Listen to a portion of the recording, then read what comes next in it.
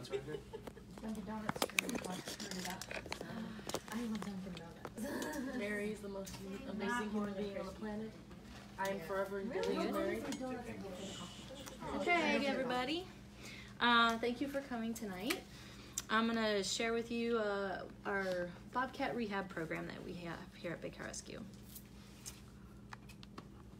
Who are you? I'm Jamie. See my name tag? At least she has her own identity. I'm like Howard, Carol's husband. Um, so uh, we get a lot of calls um, every year about people that find bobcat or see bobcats in their backyard and they ask us to come relocate them. Um, we don't do that. It's not a good idea because taking a bobcat out of its um, its territory and putting it somewhere else is just upheaving its whole life. And um, it's actually when you rescue a bobcat from the wild, um, you have to release it within the same county that it came from, close to the actual site it came from. So if you were to just take a bobcat out of somebody's backyard and put it, you know, a few miles down the road, it's just going to go back to its own territory, but it might get hit by a car trying to do so. Um, so we have uh, these brochures that we'll send to people, as well as some uh, digital downloads for them, uh, just to figure out ways that they can live with their wild neighbors. So we recommend that they keep small uh, pets and farm animals indoors at night, or at least in a, a cage with a roof on it at night. And we also advise them not to have things that attract predators, like bird feeders and squirrel feeders. So if your yard's full of things feeding little animals, bigger animals are going to naturally be attracted to that area. Um, and a lot of people have a fear that bobcats are carrying rabies and they're going to spread rabies, and they don't actually carry rabies. Um, once they contract rabies, they die afterwards. So that they're not a carrier of rabies like raccoons or foxes are. Um, bobcats are found all throughout Florida, and their uh, territory range can be as big as uh, six square miles and as small as one square mile. It just all depends on how much prey density is in the area. And the bobcat is the most heavily harvested cat um, for the past 20 years, with an average of 30 to 50,000 pelts being exported from the U.S. each year. In the 80s, they did a population estimate of bobcats being around 1 million, but there hasn't been any subsequent research of what their population numbers are currently. So, wild bobcats come to Big Cat Rescue um, for two reasons. The first and most common is uh, due to injury, usually after having been struck by a car. The most common injuries that we find in those cases are uh, breaks of the rear legs or the pelvis, um, which happens as they're crossing the road. They'll get clipped right as they're just about to make it across the road. We've also seen um, head impacts, uh, which isn't as common, but we've seen them, uh, that uh, can result in brain damage or vision damage to the bobcat. Injuries uh, also include disease. We've had bobcats come that were severely infested with parasites. Um, this one here had a case of mange. And when they get a really bad infestation like that, it weakens their immune system to the point that they can no longer take care of themselves and they become victims to other animals like coyotes or foxes. And we've even seen birth defects here, where bobcats are isolated to a small population or a small area of territory, and they can't get anywhere because there's so much development around them. So they start interbreeding, and that'll result in birth defects. We've had uh, kind of commonly, actually, in recent in the recent past year, um, prescribed burns. So these can affect animals because they displace them from their territories, uh, but they're also a natural, or I'm sorry, a necessary means to control larger burns that can uh, result in mass destruction of areas. So they have prescribed burns where they'll take a section of forest and um, burn it, but they control how far the fire goes, and that helps get rid of all the leaves and the underbrush and everything that really fuels fires, so that if there's a lightning strike and a fire were to occur, it doesn't travel very far.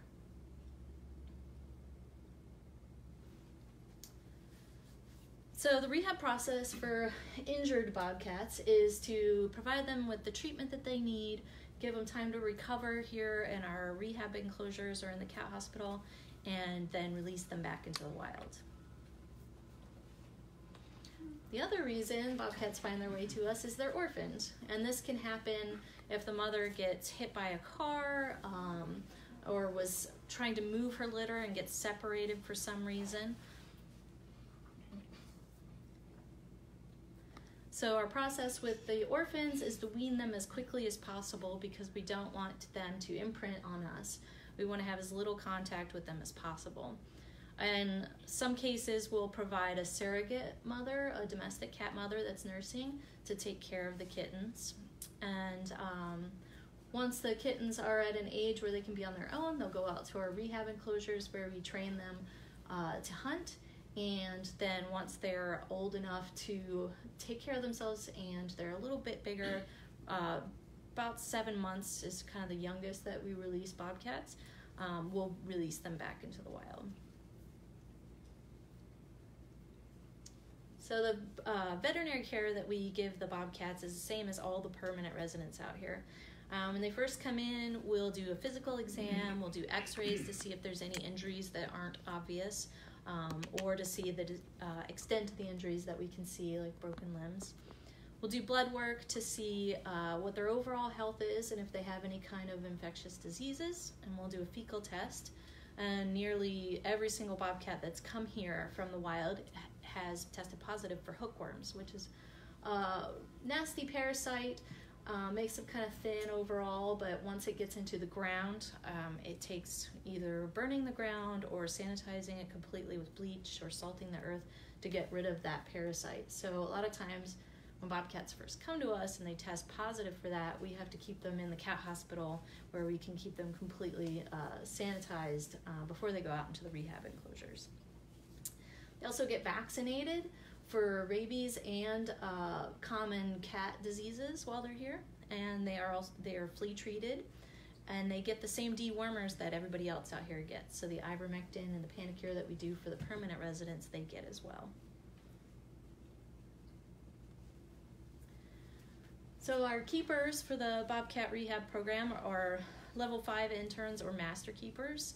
Um, each in, uh, keeper has one day per week that's their dedicated rehab day where they take care of all the rehab bobcats currently uh, here. And um, I'll typically take two days a week, but if we have enough keepers, I'll keep it to one day. But I also go in and check on the cats several times a week just to make sure that they're progressing the way they need to. Uh, whenever we're around the bobcats, we wear ghillie suits like you see there on the left of the screen. Um, and we don't talk around the animals at all. The only time we talk around them is when they're getting examined in the cat hospital because that's like a scary experience already. So talking around them, it, it's not going to imprint them to like that experience. Um, but when we're out, when they're in the hospital for long term care or when they're out in the rehab enclosures, we don't talk around them.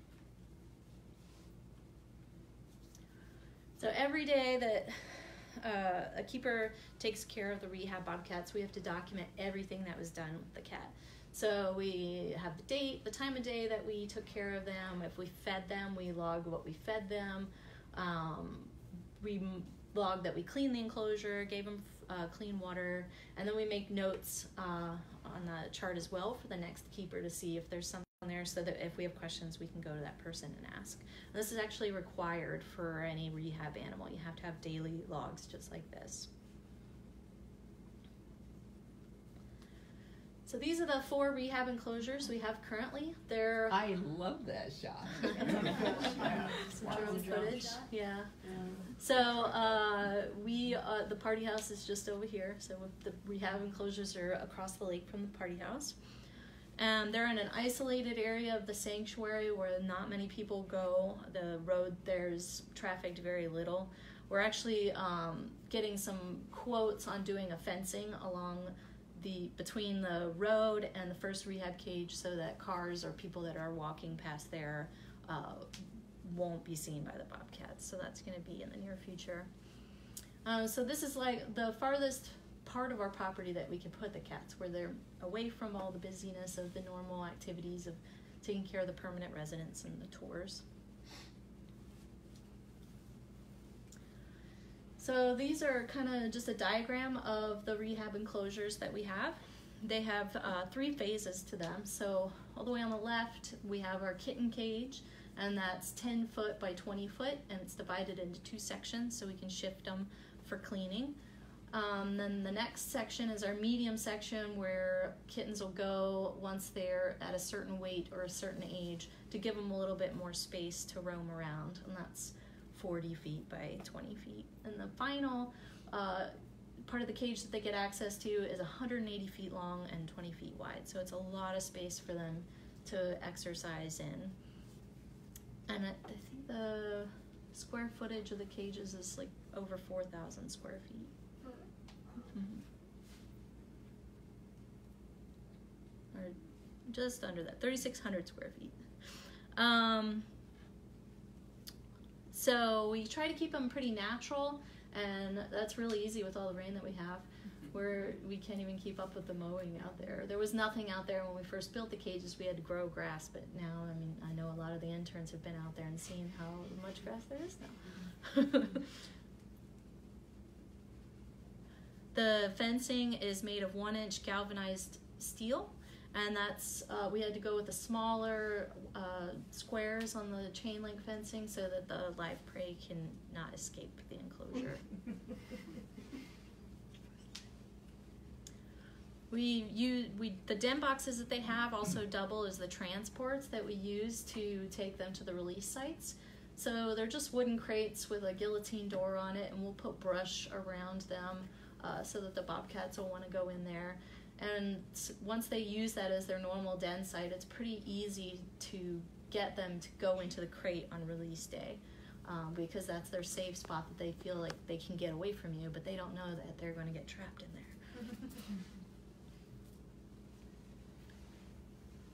so here's a little close-up view of the den boxes, and we've made a lot of modifications to this over the over the years. At first, it started out with just the box with the guillotine door on the front, and we thought if we opened it, the bobcats would just run away. But that didn't always happen, so then we put this back door on the cage so that we could open it, and then hopefully that would spook the cat to run out of the box. And it worked sometimes, but not others. And now we actually have a panel inside there that we can open the back of the transport crate and we can push the whole panel forward to the uh, the door of the crate so we can actually squeeze the cat out of the box.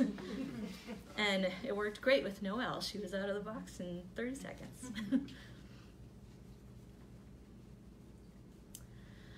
Um, so the because the enclosures are roofed we can't incorporate trees for climbing so we provide them with alternatives we have these shelves that we'll put on the side of the enclosure. These are some uh, the older enclosures here. Uh, we'll also do. Let me see if I get my mouse over here. We'll also do some swinging platforms so that they can get on something that's unsteady feeling. And whenever we whenever we cut down big trees out here, we'll save the the large logs and we'll use those as part of their platforms or something for them to climb on.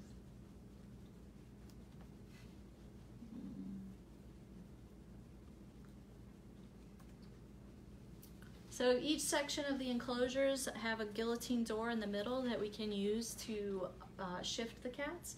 Because the cage wire is so small, we have to actually go in the enclosures to clean them. And uh, we use those guillotine doors to shut them away so that we can access the, the sides that we need for cleaning or maintenance. Every part of the enclosure has to be covered with a small wire because the live prey is really good at finding ways to try to get out. So even the water boxes on the enclosure have a smaller mesh wire on them. So this is uh, some of the slides here are going to show us uh, how we train them to hunt.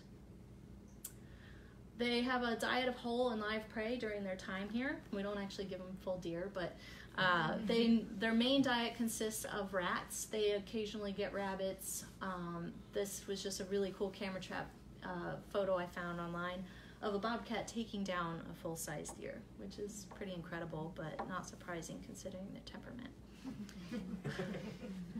Uh, in the wild, they'll also eat birds, snakes, they'll bugs, lizards, um, all different kinds of thing, quail and turkey. Um, but here, their main diet is rats. So when we got our first kitten that we needed to train to hunt, there wasn't a lot of information out there that you could get your hands on. Uh, so we had to kind of make up the program as we went. So this was a feeding station that we designed out of just a dog carrier, a really large one that we cut the top out of. Um, and then we put a chute in it that we could put food in from outside. And we covered it with brush on the inside. So this was um, the intent of this is to minimize our interaction with the cat when it's getting its uh, live prey. So, eh, but it also provides a controlled environment so that the prey can't immediately escape the cat. We're not trying to teach adult cats how to hunt; they already know how to hunt. This is only for kittens. So, what we do in this situation to train them to use this box is once they go outside, they'll already be eating whole prey, so chicks and rats and we will take their food out to them and put it on the ground next to this feeding station for three or four days. And we, so we're training them to come that one spot over and over and over again. So once they learn that spot, we'll put the prey on top of the box and we'll do that again for three or four days. So the first day that they come and they don't see the food where they're used to seeing it, they use their uh, sense of smell and they find it on top of the box. And then we do it again, putting the prey inside the box. So it takes three steps to get them to use the box. Once they're going into the box for the prey, we'll put the live prey in there. And that's all that we have to do. We don't have to teach them how to hunt live prey. They have natural instincts that immediately kick in. The first time they jump in there and their prey is moving, it, it just fires in their brain and they know exactly what to do. It's, it's pretty amazing. Um, so this is the, the feeding station that we've been using. Um, so when we first started using it, oh we got most of the results we wanted, but you'll see here that as soon as we put the prey in and walk away, then here comes the bobcat. So we wanted to have more time between us putting the food in and the bobcat coming over. So that's when we designed Feeding Station 2.0.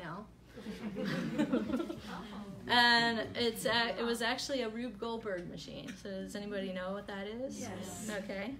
So it's a complex contraption of simple tasks dominoed to accomplish a greater task. So what we did here is the feeding station is on the other side of that little bamboo wall.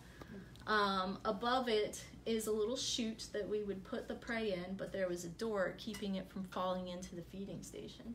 So we'd load up that chute with the rat, and then we'd come back here and set this timer on a hose. So after 30 minutes or so, it would fill up the bucket with water, and the bucket would get heavy and drop to the ground, pulling the rope, opening the chute, and putting the prey into the feeding station. Mm. So we put the food in, and then a half an hour, up to an hour, whatever we wanted to put the timer on, that's how long it would be till the food got in there. So hopefully it was making some kind of disconnect between us arriving and food being there. once they uh, learn to use the feeding station and they're hunting prey successfully, uh, we'll start to use the rat tunnels. And this is, an, again, another older picture of our, our past rehab enclosures. So what we did here is we took big PVC pipes and we created a maze with them. And at, at the end of each PVC pipe was a drop station that has a screw lid where we can unscrew the lid, put the rat in, leave, and then the rat has all these options to take to go into the rehab enclosure. They all go into the rehab enclosure, so the outcome for the rat is always the same. But for the bobcat, it doesn't know which side of the enclosure that the rat was going to come out of. So that way we were varying the timing and the location that the prey was going into the rehab enclosures. This is the design of what we have now. So it's just one straight tube that goes through the whole enclosure, but we have little guillotine doors on the pipes as it goes through so we can shut those doors and manually pick where the rat's going to be going. So we can get the, we are varying which in, a part of the enclosure that the rat's going to and also getting the bobcat to utilize other parts of the enclosure if we want them to.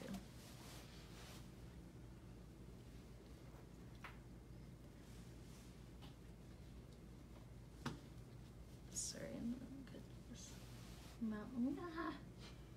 I should turn that feature off for the presentation. Alright, so here's a little uh, video. So the rats come out into the enclosure and they can't get through the larger wire.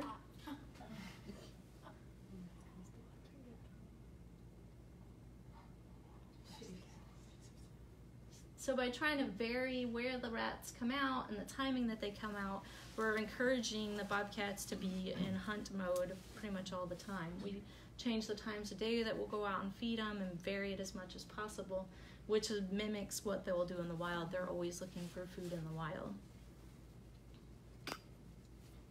Um, so one thing that happened, yep. So do you guys? You said you vary like based on the rehabber. Who? What time you guys go out? Mm-hmm. Oh, and it's not just the rehabber. Like, it also revolves around what's happening day to day out here.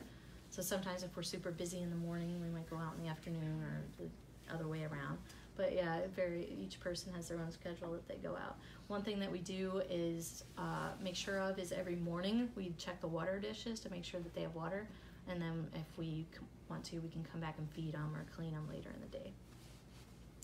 Uh, one of the things that I found with the rat tunnels is when we first put it together, we put um, a cu- or we put it all together, and the rats were never moving out of that little drop station. And so through trial and error, trying a bunch of different things, we learned that uh, drilling holes in the pipe along the way makes little bits of light that the rats will follow to go out. We have, and it's important to put those holes on the underside of the pipe so that you don't have rainwater collecting in there.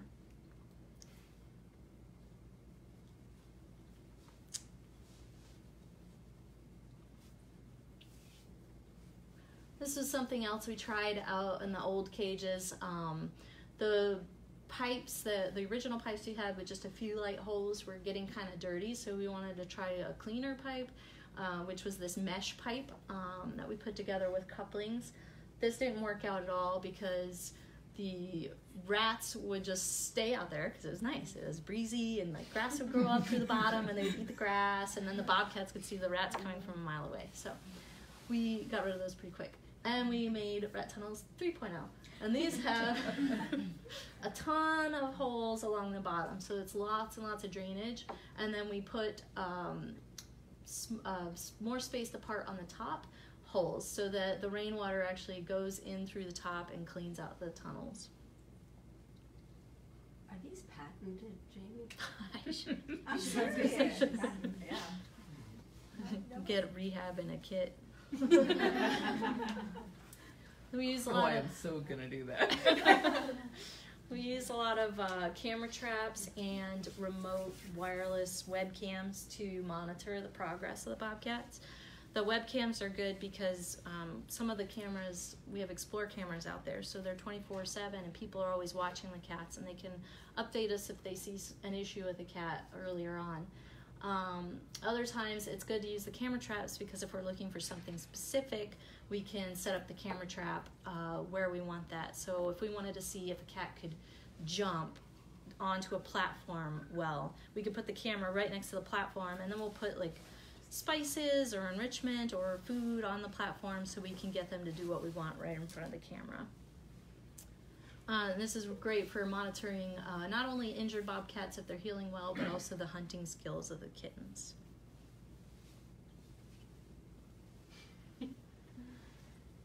So this is just a little explorer shout out. They they are great. They watch the cats all the time and keep us up to date on everything that's in and outside of the rehab enclosures. we get a lot of wildlife visitors out to the rehab area. So this is a little video compilation of some of the images we've captured with the camera traps. Where's my mouse? Nope. Here it is.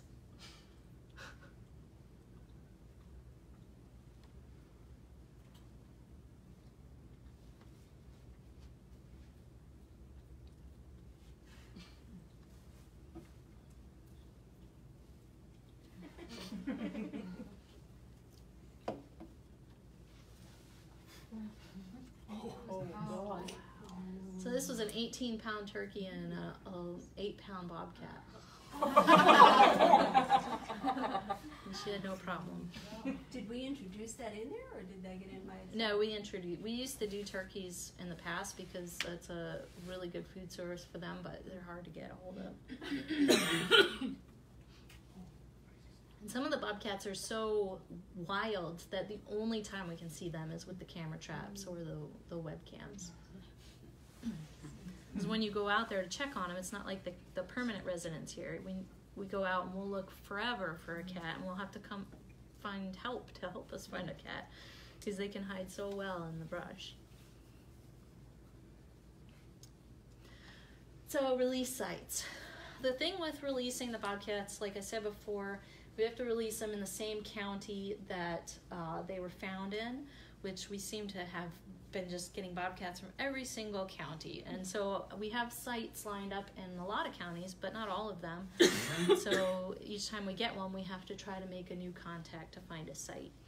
The site has to be a minimum of 40 acres of privately owned land. So you can't just take the bobcats to the state park and put them back. It doesn't make sense to us because that's what the state park is for wildlife. But they don't want the liability of released rehabilitated animals being in the park and maybe somebody didn't do a good job rehabbing and the animal is imprinted. So they don't want the public to be in danger for that.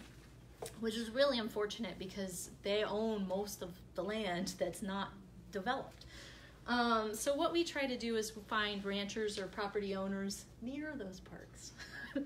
so um, that's a that's a challenge in itself. Um, most of the time, uh, we go we will try for months to to secure a release site for a bobcat. Um, we also will put out uh, pleads on Facebook sometimes or in the Big Cat Times if we're looking for a specific county. And uh, if we get really desperate, we start searching county records and we'll go through the county records online to find pieces of property that are large enough and then we'll just cold call the people and ask them if we can release on their property. Uh, whenever possible, we also deploy camera traps where we release the bobcats to monitor uh, how they're doing. We have probably about between six and eight cameras out there right now. Um, sometimes the cameras are active for a few months. A lot of the, some of these places are three or four hours away, so we don't really keep traps going that long, great distances. But we have uh, camera traps that are really close by, just a few miles here from the sanctuary that we've been monitoring uh, for a couple years. During every initial exam of the bobcats, we'll take pictures of the spot patterns um, for identification purposes later in the, on the camera traps. The spot patterns are really distinct on the front and back legs as well as around the face. They don't really have that much spotting as you've seen on like Moses and Bailey on the sides and back. It's kind of uh, just blurry. So we'll take pictures of both sides of their legs and both sides of their face while they're sedated. Here are some camera trap pictures uh, at some of our sites. And we'll get kind of 10,000 pictures on a single camera that we have to go through one at a time. And the top left there, uh, below that is a blown up portion of the image. So there's actually a bobcat in the top left picture. Very, very hard to find, but it's there. So here's some of the bobcats. Um, this one, bottom right, is Thor, which we released uh, at the site just a few miles from here. some, we get a bunch of other animals in the camera traps too. Oh, we got uh, otters and pigs and turkeys and deer. Maybe some all kinds of stuff. So doing the when we first started the, or when I first took over the rehab program, like I said, there wasn't a lot of information out there to learn how to do to rehab bobcats for release. So I documented everything along the way, all the things that did work, didn't work. I wrote an entire class on rehabbing uh, bobcats. And we get a lot of calls and people reaching out to us asking for any kind of protocols that they could use in their own situations. So we share all that information, and this is just a list of some of the cats uh, around the country and around the world that we've been able to help with our uh, program that we utilize here. And that was actually one of the one of the kittens that benefited from our rehab program, a little jungle cat kitten. Jamie, have you kind of set the standard as far as bobcat rehabs now? I mean, I, I think we have really, really good enclosures. Big, thanks to Big Cat Rescue and being what it is, we can pro- we can afford the enclosures and the care that we provide. It's really hard for just an a- average rehabber to come up with funding to do something like that. Um, but I, yeah, I definitely think that we're up there in the top as far as bobcats for sure. Um, okay, so this is just a couple of the cats that we currently have in rehab. Uh, this is Aphrodite. She's an adult female bobcat. Um, she came here really out of it, really stunned. We weren't. She had no injuries, no uh, scratches or cuts or broken limbs. She just was really spacey, and we've seen that before with a head impact, um, being hit by a car. And sometimes it's permanent, and sometimes it fades. And in this case, it's faded. She has completely wild instincts, hunts very well on her own. She avoids us. Um, so we're actually looking for to release her uh, really soon. Here's our Irish kittens. So um, with actually Noel, we just we went on this tangent of naming the kittens after the holidays that they were rescued near. So we have Noel for Christmas, Aphrodite for Valentine's Day, and then we got these three kittens around St. Patrick's. So we have Lucky, Clover, and Shamrock. Lucky and Clover came from another facility uh, that didn't have the resources to provide long-term care uh, till they were adult uh, cats to be released. So they came here together, and very um, close to that, we got Shamrock, who was a little bit younger, a little smaller, and uh, she was a single cat that came here. We housed them in two neighboring enclosures, and over time, we were able to introduce all three together. And our plan is to release all three of them together at the at the same site. And that'll be good for Shamrock because it'll give her someone to kind of lean on when they're first released. It's always best if we can to try to pair up kittens um, because just naturally in the wild, when they would leave their mother, they'd kind of go off together and, and learn from each other and help each other out for a little bit after they're on their own. So being able to put Shamrock with these two has just made her uh, success rate explode. I don't know words. Brain sleepy. These two cuties, Bravo and Tango, were orphaned following a uh, large tract of land that was clear cut for development. So one of the guys on the bulldozer found these kittens and rescued them and took them to a nearby rehabber who mainly does small animals, not large carnivores. So we uh, went and took these kittens to rehab. Then shortly after their arrival, we got Foxtrot, and we just the other day introduced all three of them together, and they'll be rehabbed and released together as well. You can see Foxtrot has uh, very unusual markings on his back feet. He's got white toes on both back feet, so you can see that there in the picture. I actually forgot to put a picture of Echo in here, but that's our fourth kitten. Echo is a, a little bit bigger than Foxtrot, Bravo, and Tango uh, by about a pound and a half. And so we're waiting for those three to get a little bit bigger before we introduce and have all four together. Here's a picture of Noelle, who was just released uh, last week on 1,200 acres. And she was hit by a car on Christmas Day. She suffered uh, two broken legs on the same side. One leg was broken in one place, the other in two places. She had surgery and permanent plates and screws and hardware installed uh, to stabilize those broken bones, and those will stay in there forever. They won't impede her at all. She did great through rehab. Um, she, I, I think she was the one that was didn't have any feeling in that back leg for a long time. She was dragging it, um, but it, we put her on a bunch of medications and just gave her time in the cat hospital to get better, and she ran like she had never been injured at all. And she can fly. Yeah, she's a flying bobcat. uh, so here's just a few of the cases that we've had out here. Uh, this is when I first took over the rehab program. It was my first cat, and this uh, was an eight-week-old bobcat, which we had never done a rehabilitation of a kitten to adulthood for release. So she was a total guinea pig.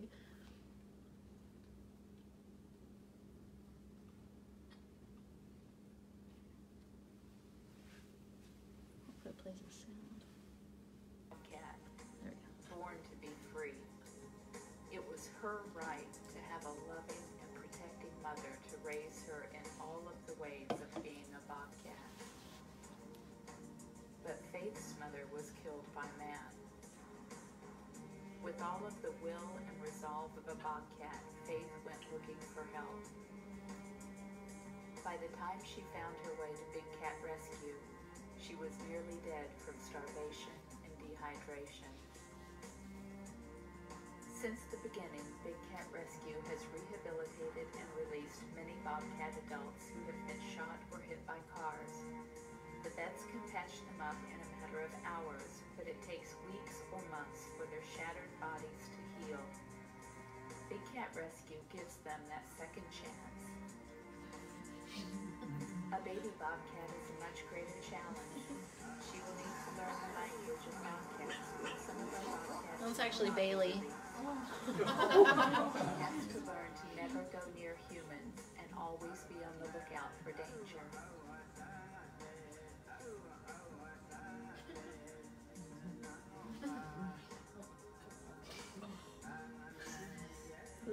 Before we had any rehab enclosures. Don't mind the serval in the background. It's okay. this is the first u- use of the feeding station as well.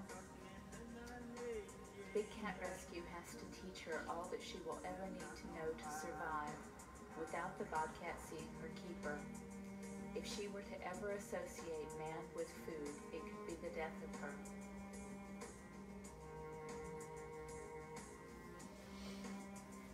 A lot of hard work, and her live rats are expensive, but it's worth it to be able to give her back the freedom that she was born to inherit.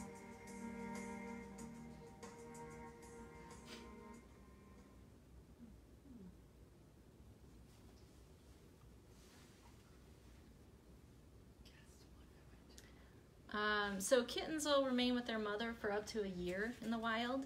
We always try to try to schedule the release times uh, during spring when there's a lot of new baby animals on the ground that are a little easier to catch.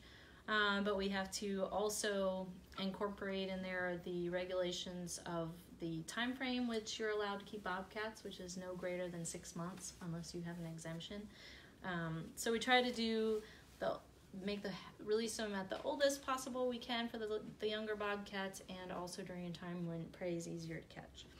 Um, Faith was released on 2,000 acres that bordered an 18,000 acre park.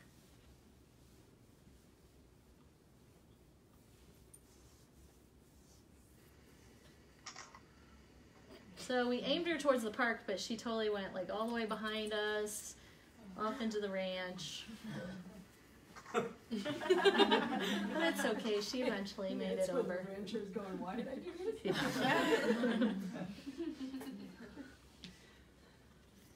Uh, we've captured her on a camera a year later. This is just, just a cute, extreme close up of her eyeball. But we set up cameras along that stretch where she was released and got uh, pictures of her throughout.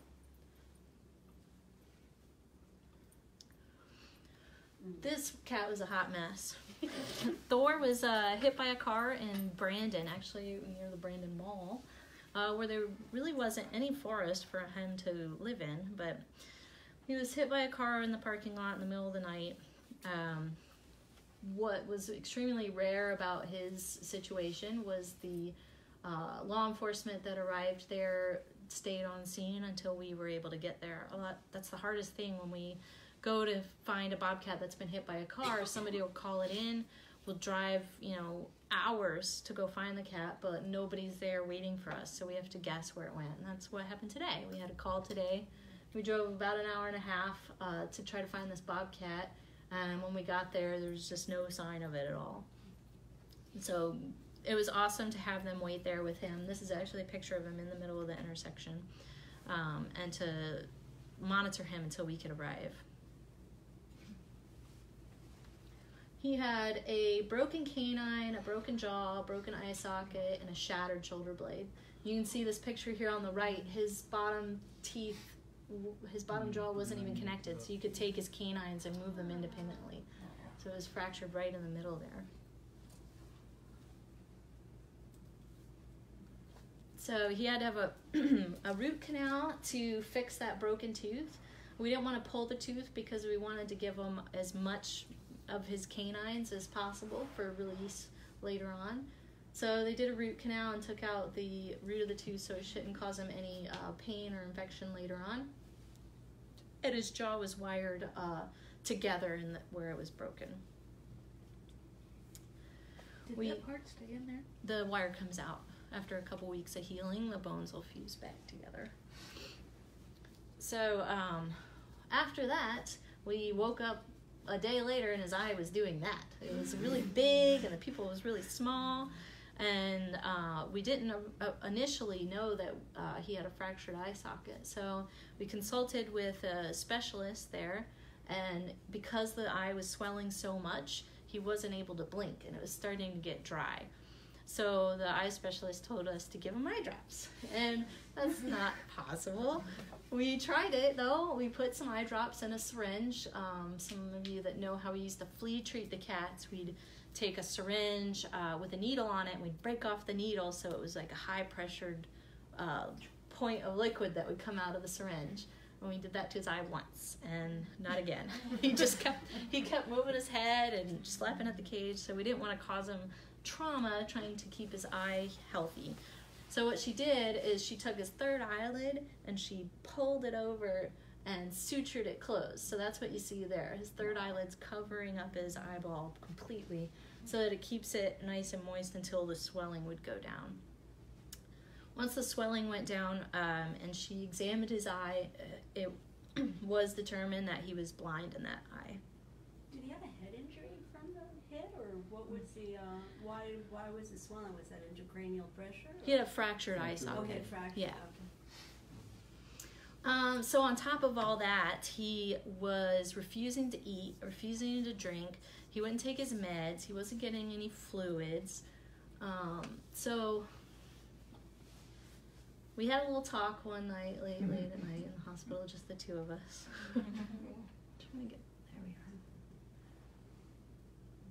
And like I said, I don't normally talk to these cats, but since it was such a stressful situation for both of us, I just asked them to please eat. That's all I had to do, and I would leave them alone most of the day. and so um, what we did is we, I put a bunch of food in a blender. Actually, my magic bullet from home, gross.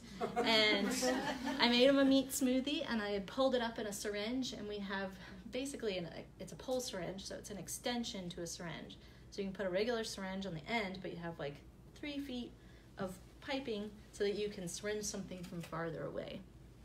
Once you can get one, like one or two syringe full of food into a cat's mouth that's not eating, sometimes that's all it takes to, to get them to turn around and start eating again. So that's what we did, um, and we eventually transitioned from that sort of feeding to eating out of a bowl. Oopsies.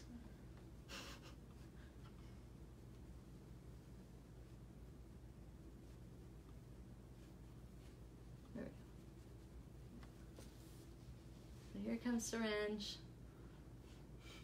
It hisses at me, boom, you get your food.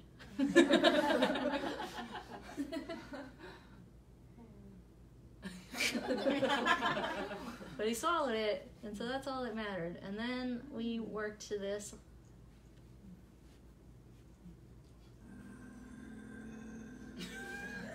He just refused to pick it up off the floor, probably because his mouth and his face hurt, and his shoulder was, you know, all broken.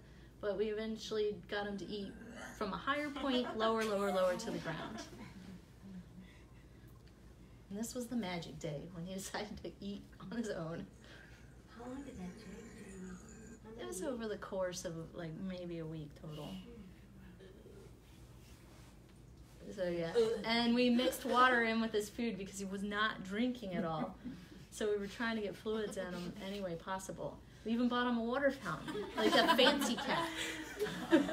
So he eventually started to love life in the hospital. He loved his little fleece beds, loved his water fountain, hated us, hated us the whole time, which is good. So he had eight weeks of recovery inside the cat hospital, and then another five weeks of recovery outside in the rehab enclosures.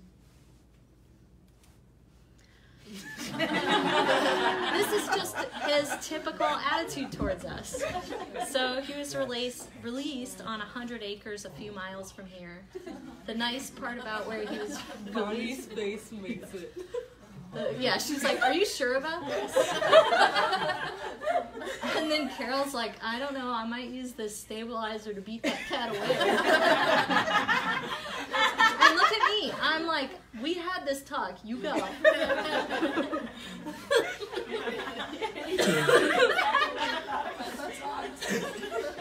So he was stubborn to the very last day. Even the signs falling off of the he was a mess. But uh, the good thing about he was released on a relatively small site uh, as far as what we normally go for, 100 acres. But the nice place thing about the place was that it was where power lines go through. So power lines are natural corridors for them to travel as far as they want to other areas of forest. So he actually sticks around there, and we get pictures of him often on the cameras. But yeah, I think he's probably one of my favorites. so here's a picture of him four months after release. This little guy was found on a tennis court just a couple miles from here. Uh, he was captured by a trapper, um, but, but later the trapper brought him to us so we could rehabilitate him. He was he suffered from birth defects. He had um, very little habitat where he came from. He had an orange-sized herniated area of organs in his abdomen, so it was just like a small hole in the abdominal wall that a bunch of organs had gone out of, and they were just under the skin, most like most likely from being hit by a car. The hole, though, wasn't uh, cause of the accident. It looked more like a birth defect. It was very perfect and smooth and round. Normally, in a trauma situation where they were hit by a car, it would be a tear in the muscle wall.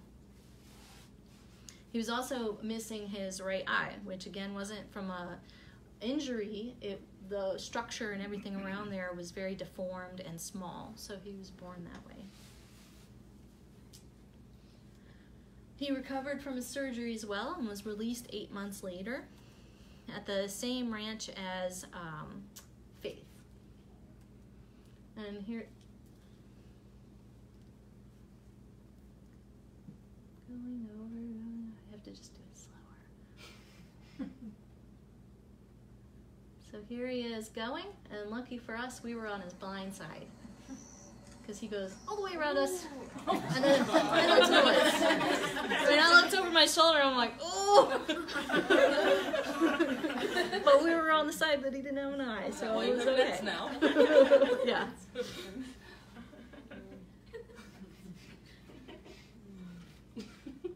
Here he is looking at a camera a couple weeks after his release. This was a sad one. Uh, Poseidon, he had a severe parasite infestation. He had mange.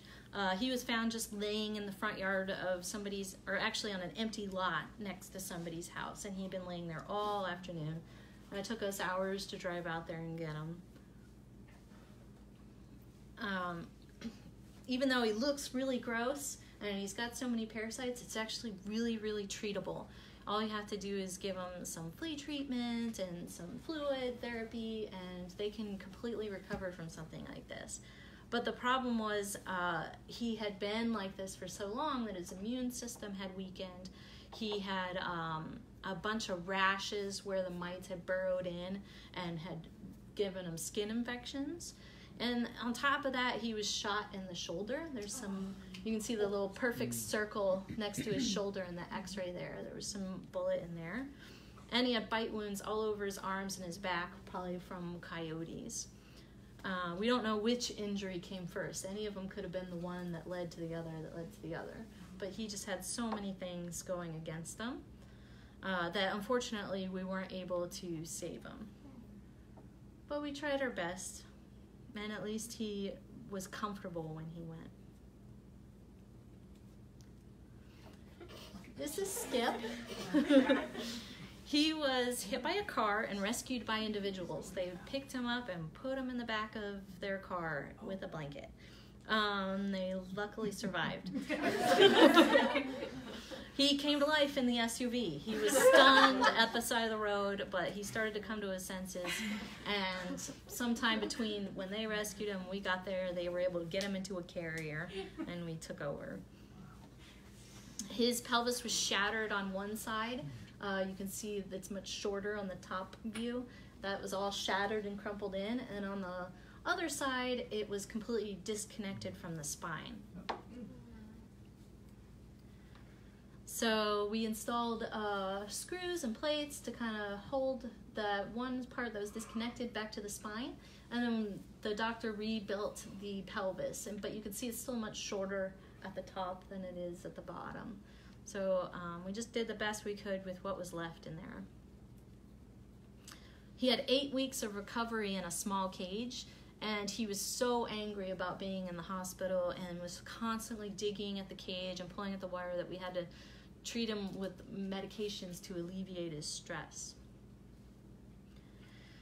And every time we went in, this is all we saw. He would just hunker down and hiss at us, and we could never see if he was getting up and using his back legs. And so, this is when we first used the webcams uh, and made him live and invited the public to help us monitor him because he was so difficult for us to get any kind of look at him. He was also the first uh, cat with his own fan club on Facebook.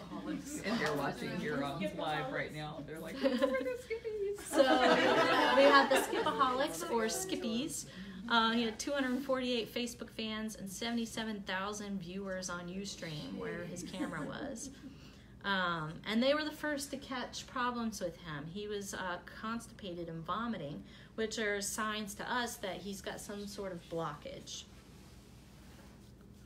So, uh, in the end, he regained the ability to walk, run, jump. Um, but because of his antics in the cat hospital during his recovery and not taking it easy and resting, he uh, shifted the pelvis bones so that they actually healed too narrow. The pelvic canal was too narrow for him to eat bones and fur uh, and pass it. So he was eating that stuff and then it was getting stuck and he was vomiting. Um, and then we'd have to manually get that out. Uh, so he was going to have to be on a soft food diet for the rest of his life, like mush um, which made him not a candidate for release. This is a little um, video of him in his uh, permanent enclosure here. He became a permanent resident.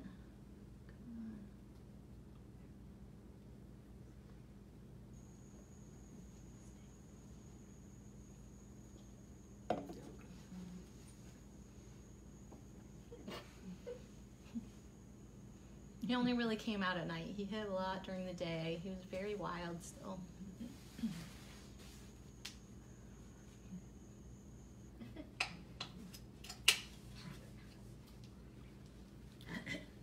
so he was a permanent resident here for quite a while. Um, but then one morning during feeding time, he had a fit where he was running around the enclosure. He was foaming at the mouth. He had a seizure, and then he just died. We tried to uh, administer rescue drugs to bring him back, um, but it didn't work.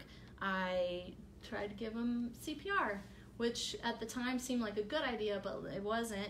Um, one, if he was to wake up, then I'd be kissing an awake bobcat.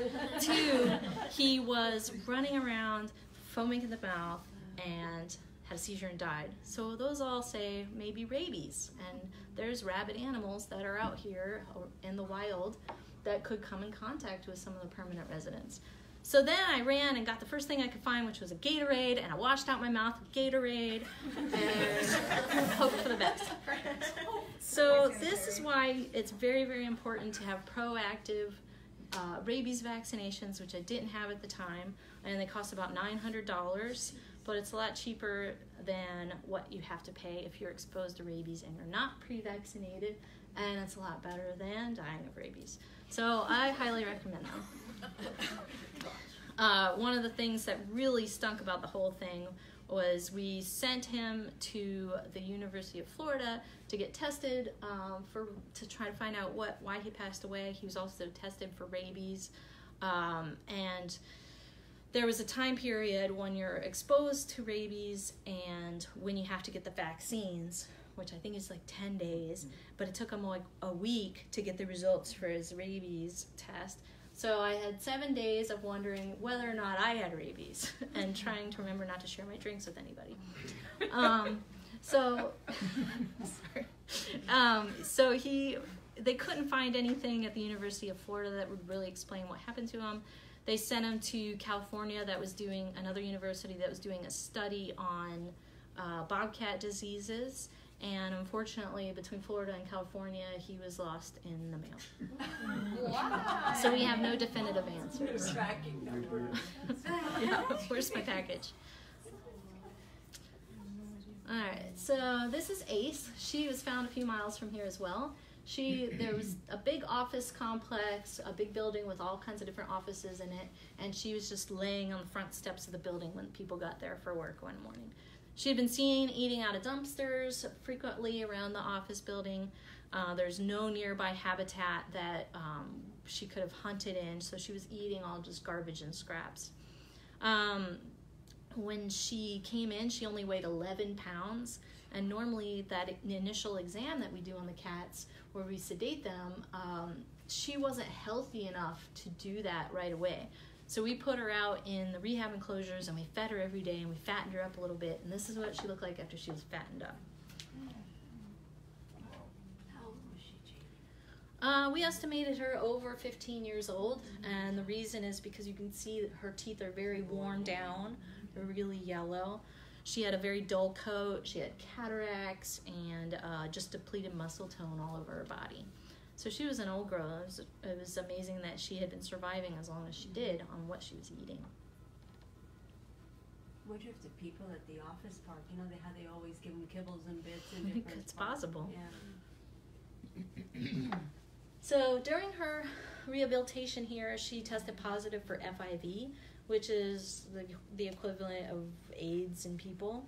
So that's a highly contagious uh, disease that attacks the immune system in uh, cats. And so it's spread through blood and saliva, and because of the potential for her to infect the Florida panther population, she was denied uh, release, so she became a permanent resident here.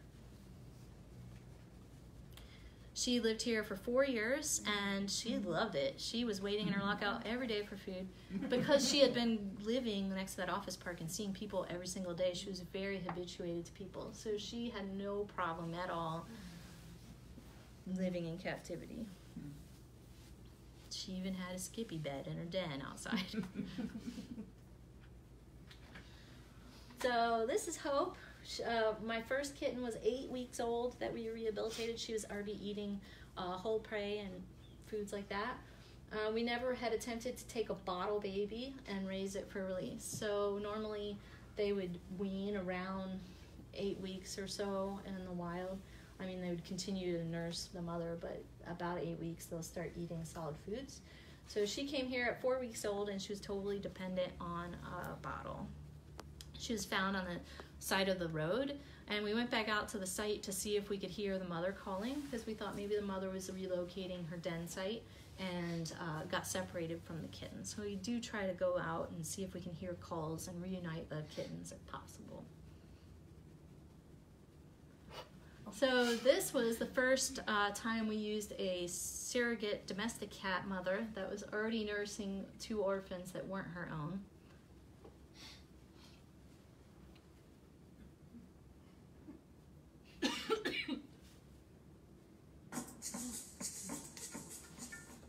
It's been a long journey for Hope and an amazing experience to watch her grow up.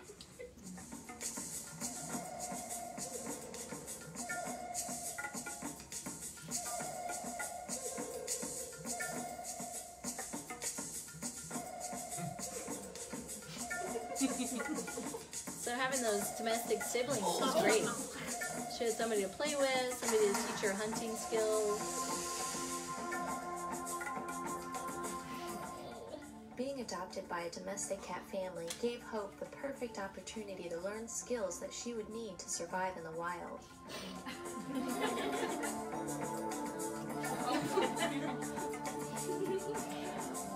Like climbing trees face first down.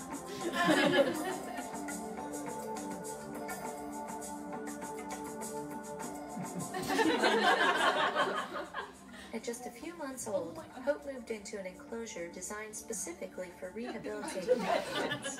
It is in here that she would learn how to climb trees, conceal herself the brush, and hunt. This experience would give her first-hand knowledge of what it's like to live in the wild.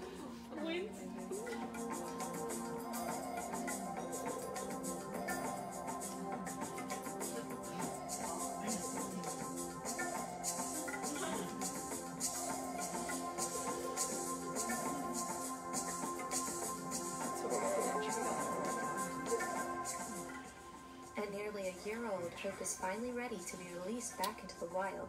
She has learned how to hunt her own food and take care of herself.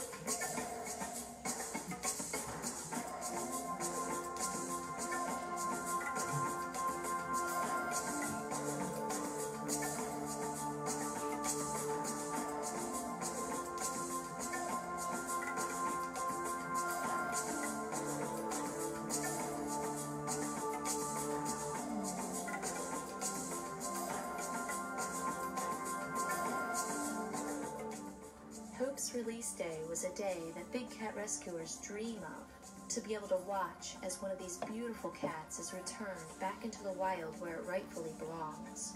It's definitely been a long journey, Hope, and we wish you all the best.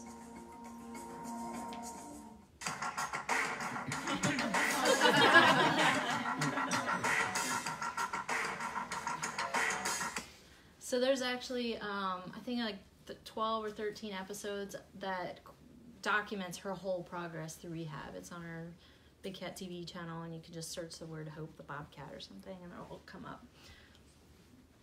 Um, so she was with her domestic family until she was about three months old, and then she stopped hanging out with them. She started sleeping in different areas of the enclosure, and that's when we pulled the mom and the two cats out, and then tried to find people that wanted to adopt feral kittens. but they had a cool story, so it actually was pretty easy. Uh, she was released when she was 11 months old in the springtime, and at the same ranch as Faith and Chance. Her story was also so unique that it was featured in an issue of National Geographic Kids magazine. And if you look for that magazine on Amazon, it's that issue that pops up. Uh, so here we have Ivan. He was seen in a neighborhood that was pretty forested along a creek. Um, the, we were told that he had in, an injury to his leg. It looked like a cut, um, and it was hours away. So we loaded up in the car and fully expecting that by the time we got there, the cat would probably be gone because it was walking around. It just looked like it had an injury. We nearly gave up on the search. There was a big uh, swath of land along the creek that was totally forested, very overgrown. We just lined up and walked the whole thing uh, for hours looking for this cat. And just as we were um, about to get into the van to come back, we heard some dogs barking down the street. So we just decided to go ahead and follow that, and the dogs led us to the cat in the back of somebody's house.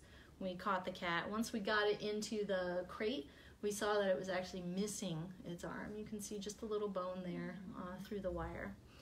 And that was most likely uh, caused by trapping. Uh, the animal will chew its leg free, um, or if the limb was broken in a trap, sometimes they'll chew away an injured part of themselves.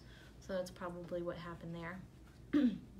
the whole ride back to the sanctuary, we contemplated, you know, we've done all these other amazing rehab and releases. Would it be possible to rehab and release a three legged bobcat? So we really thought about it the whole ride home. We decided we would give it a shot. You But that- want to warn people before you go to the Yeah, the next picture is not so fun to look at, so be aware. So when we got there and we sedated the cat and pulled him out of the blankets, he's actually missing both front legs, and he had been walking around like that for weeks. Um, the bones were very dried and rounded, and it's amazing that he was even evading us. And he got away from you, see? Yeah, I mean, yeah, they're tough. They're very tough. Uh, It was I've never seen anything like that ever in my life, but it's very sad, and we decided obviously just to humanely euthanize him. This is Fencer. He was literally caught by a single toe in a fence. The ne- person had gone into their backyard to drink their morning cup of coffee. You could see the little kid's playhouse over there, and there was a bobcat hanging from the fence in the background. And so um, this is uh, a case where it's really important to have good relationships and with your veterinarians if you're going to do rehab work because you can't carry around sedation drugs for these animals. So you have to have a vet that's willing to come out with you and dart the animal. In this situation, uh, Fencer was had his adrenaline going really high and he had to be darted multiple times. So you can see multiple darts sticking in him there, but in this bottom right picture you can see he's still fully awake and looking at us. So we just we couldn't dart him anymore, couldn't give him any more medication, so we had to just go in there and get him. So we we had actually an animal control officer on the scene with us, and he had a catch pole, so he used that to hold the cat down. And he was you could see his toe up there on the top right, just caught right in the little corner of the wire. So we asked permission, and we just cut that fence right out and took it with him. Um, so he's got the fence there on his toe. We got him netted. We got him into the transport crate, and we took him right uh, to the clinic to have X-rays. So there's a little piece of wire that we removed. It had just had that little bend in it that his toe got stuck in. Um, other than that, he had a little cut on his toe, um, but he had actually broken his toe. So you can kind of see right here two little breaks in that toe. And what you would normally do um, is put a splint on it, but a bobcat's not going to tolerate a splint.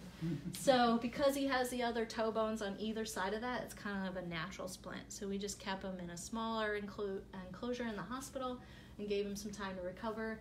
On the right there is the fused bone after it had some time to heal. So he had um, four weeks of recovery in the hospital, and we wanted another four weeks outside. But he was so adamant about going. He we had one week of recovery outside. So after a week, we took him to his release site. Um, six weeks after his rescue, on 7,400 acres of land, and he ran away like there was no tomorrow. Bellina's a really good example of how expensive rehab can be and uh, why it's so important to have good fundraising program to support your uh, rehabbing. She was hit by a car and lying on the side of the road. That's just literally the curb right on the side of the highway. She had a severely broken leg and her tail had been degloved, so they had to partially amputate the tail. And because they won't tolerate a cast or anything external, you have to use all internal things like screws and plates and pins to put the legs back together. Uh, so she had a surgery to repair the broken leg. That was $3,800. And then she had to recover inside in the hospital in a small enclosure for four months. When we moved her out, so on the right here is what her leg looked like after surgery. It's nice and straight. When we moved her out to the rehab enclosure, she bolted from the transport, ran straight into the first wall she came to, and she bent the plate on her leg. By doing so, she displaced her kneecap, and um, she had to go back for a second surgery to fix her kneecap, which is fourteen hundred dollars, and then another four months in the cat hospital. So then she had eight months of recovery outdoors and twelve hundred dollars worth of food during that time. So she was getting to be a really, really expensive bobcat. But she recovered fully at a total time of 16 months and a cost of about $6,400. And she was released onto a 500 acre uh, piece of property. Do we do our own vets do the surgery here, uh, Jamie, or do Or- we have to bring an orthopod in? Early on, we Belena's case uh, we took to a specialty clinic, um, which is why it is That's very was so expensive. expensive. Yeah. Um, in some cases, like we'll have to call in specialists. Like for Thor's root canal, we had to have a dental specialist come in. All the bone surgeries, though, uh, Dr. Justin does now. But we don't have the plates or anything, so we have to take them. Yeah, we don't have the the have any of the stuff, so we take them to the Humane Society where they do the surgery. So they have plates there. Mrs. Claus. so she was found orphaned with bites to her head. Um, the first rehabber she went to didn't have facilities for long term care. She was also rescued with another cat named Mr. Claus, and we attempted to raise them together so that um, we could release them together. But Mrs. Claus was a little special, most likely because of the damage to her brain um, from the bite wounds and she was attacked by Mr. Claus and had to come in for some some wound repair in the hospital, and that's why she's wearing an e-collar there.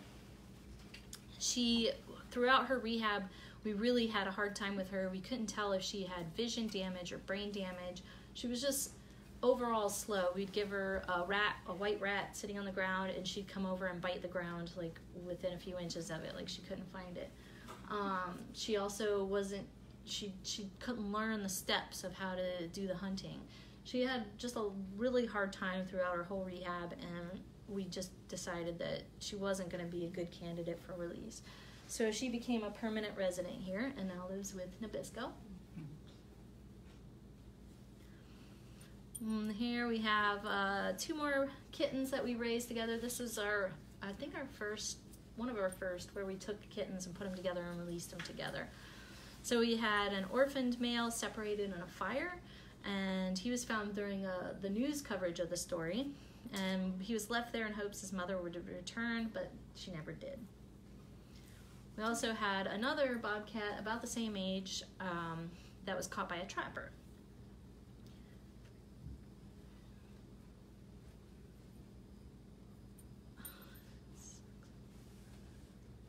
Alright. Here's a little video of them playing in the rehab cage together. so they were perfectly the same size. They were perfect match.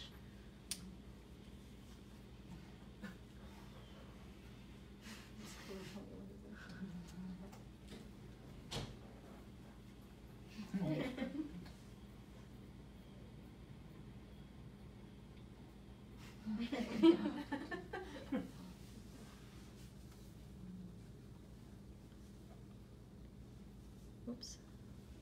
So here's a little side by side of Phoenix uh, when he got here at 10 weeks old and then uh, again at 9 months old. And Captiva.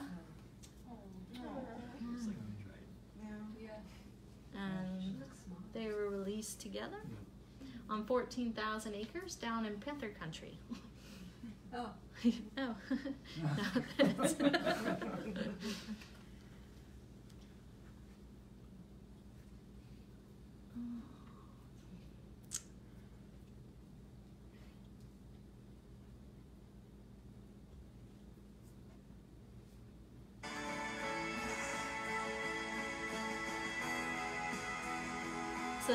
looking at each other like, "What do you think?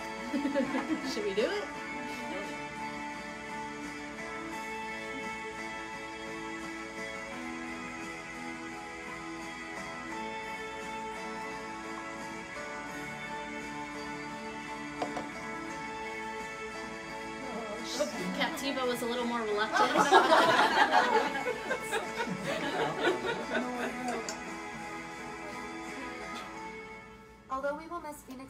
Phoenix bobcats are wild animals and they deserve a life of freedom. So is this down by uh, Captiva Island in that area, or where are you? Down hmm where, uh? was my turn. So this was the group of people that went on that release. It's it's a little north of like, Everglades. Oh, okay. That's why you said first Yeah. And actually, I have a camera, or I had a camera there that I got Florida Panthers on when I was in the Oh, location. So here was Mr. Claus, the one that came with Mrs. Uh, he was hit by a car and he was hiding under a parked car at the YMCA and rescued by a sheriff. He was taken to a rehabber who didn't have the means to provide the surgery and stuff that he required. So we took him to the Humane Society where Dr. Justin performed his surgery.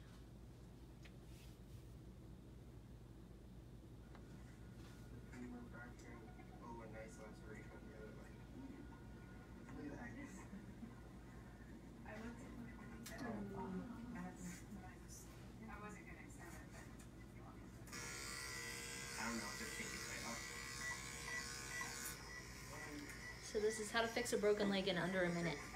No problem.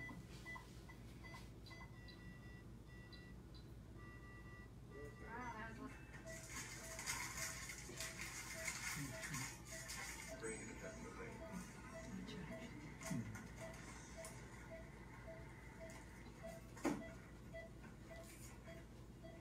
Yeah, but it's not, That's the bone.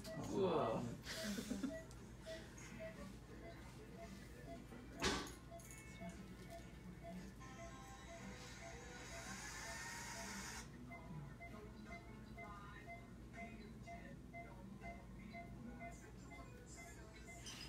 So he has to cut the plates and bend them to contour to the leg bone as he's going.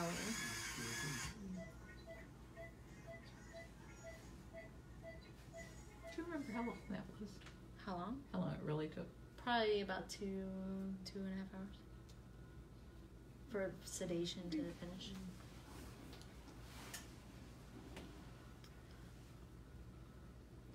So after time recovering, he was released on 12,000 acres, uh, the same site we just took Noel to. And we let Dr. Justin do the honors on that one.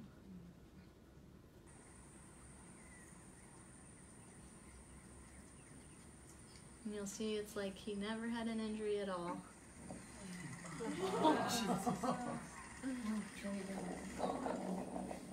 Amazing.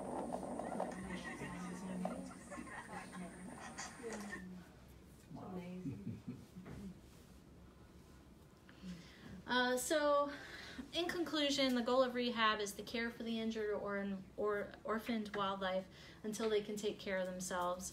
Um, all the while making sure that we don't make them dependent on us and keeping them as wild as possible. Every case is so different and exciting. There, we always see stuff that's new and uh, that we would never expect.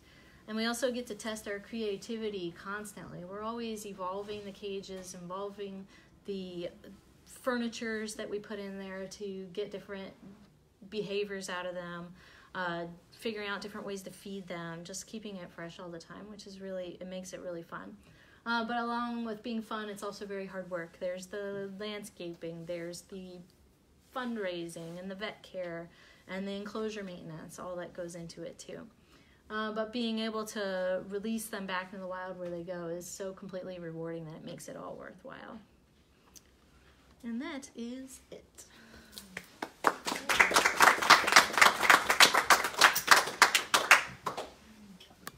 So- Yeah, anybody have a question? Do you ever tag or chip any of these animals? We haven't tagged or chipped any of them. We've talked about maybe doing a radio collar. Um, it's just there's good and bad. You know, it could impede them because they, you know, have this thing around their neck. But it would be interesting for sure to see like their movements and where they're mm-hmm. going. And Just to see what their long-term survival situation Mhm. is, considering they go through so much of abnormal. yeah, s- uh, yeah. Mm-hmm. So. I mean, the best we've done so far is just the camera trapping, and we've gotten images of cats y- uh, years after. So That's what I was gonna mm-hmm. ask, how Yeah. many years have we been able to track them, like from the first?